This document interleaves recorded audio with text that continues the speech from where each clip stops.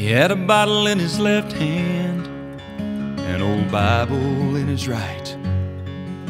I thought now there's a sinner when he asked me for a light. He hit me for a dollar. I just turned and walked away. I was feeling high and mighty when I heard him say, Pray for me, pray for me,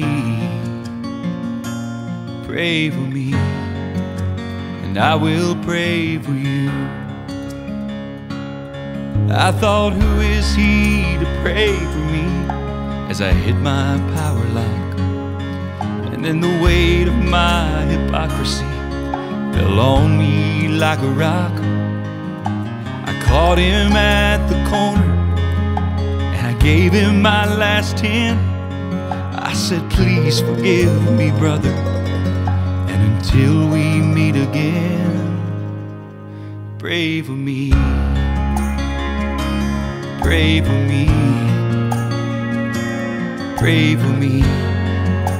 And I will pray for you. You know, each of us is broken somewhere deep inside. And we're really different when you strip away the pride. We've all got our struggles and chains that we can't break. And you never know the difference one simple prayer might make. I stood there on the corner and I watched him drifting off as the sun behind St. Mary's made the shadow of a cross on a street of busy people going places on the run. I felt like calling out to each and every one. Pray for me. Pray for me. Pray for me. And I will pray for you.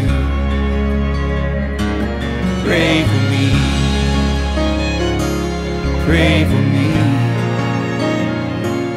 Pray for me. And I will pray for you. Pray for me. Pray for me. Pray for me.